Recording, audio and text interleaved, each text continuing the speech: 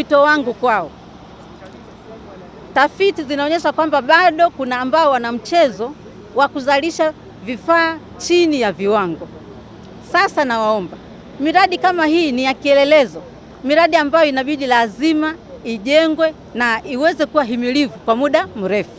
Kwa hiyo mtu ambaye atakuwa analeta vifaa vyake hapa eti kwa sababu amepata soko, anaona sasa alipue, azalishe labda pengine nondo zikawa chini ya kiwango, akazalisha labda bati zikawa chini ya kiwango, akazalisha simenti ikawa chini ya kiwango, tukishamgundua hatuna mzaa naye.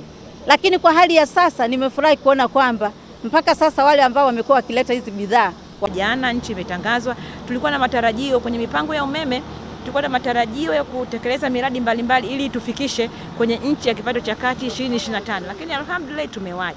Tulipofika hapa mradi unaendelea vizuri kwa mujibu wa taarifa uh, tulio tuliowasilishiwa umefikia asilimia 84 ya mpango kazi uliopo lakini wenyewe mnafahamu palikuwa na changamoto, mvua nyingi, lakini kwa kweli nipongeze mkandarasi, ameendelea kufanya kazi na ametuthibitishia umewekwa mpango mkakati mwingine wa kuweza kufikia lengo la kazi zote zilizopangwa. Sisi kama Wizara ya Nishati, kwa niaba ya Waziri wa Nishati ambaye kwa kweli nampongeza waziri wangu Dr. Meradi Kalemani, amefika hapa zaidi ya mara kumi. Sisi TANESCO kama wasimamizi wa mradi huu ni kuhakikisha kwamba hatutaiangusha serikali, kuhakikisha kwamba mradi huu una miti vigezo vyote vya kiutekelezaji.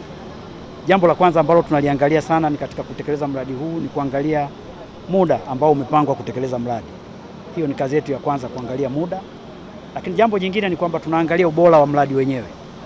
E, kazi yetu kubwa ni kuhakikisha kwamba mradi huu unajengwa kwa viwango vilivyokubalika kwenye mkataba na kuhakikisha kwamba tunapata mitambo ambayo itadumu kama ilivyotegemewa kwamba mradi unaweza kukaa zaidi ya miaka mia moja. Jambo la mwisho ni jambo la gharama, kuhakikisha kwamba e, mradi huu unajengwa kwa gharama ile ambayo imekubalika kwenye mkataba. Hiyo ndio kazi yetu kubwa kama wasimamizi wakuu wa mradi.